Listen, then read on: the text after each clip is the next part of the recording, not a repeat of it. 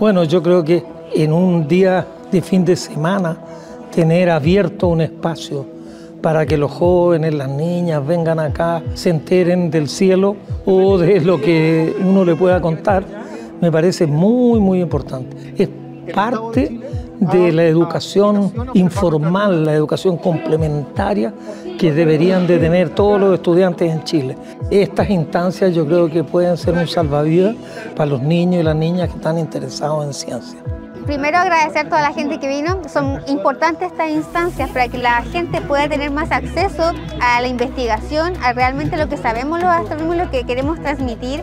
Desde Chile es uno de los pueblos más importantes en el mundo para hacer ciencia. Por lo tanto, que la gente conozca un poco más sobre el patrimonio que tienen sobre sus cabezas es muy importante para hacer la ciencia más integral y más inclusiva.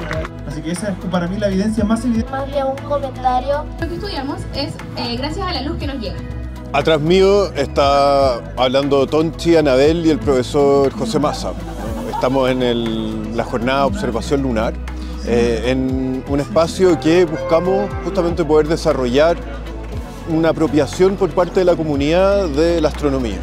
Nos parece que es muy, muy potente y muy importante que la sociedad en general acá en Chile pueda empezar a apropiarse de estas ideas, de estos conceptos, de lo que se está produciendo en Chile con respecto a observación astronómica, para que justamente quienes hoy día habitan este territorio puedan inspirarse y desarrollar sus estudios, sus conocimientos en torno a estas prácticas.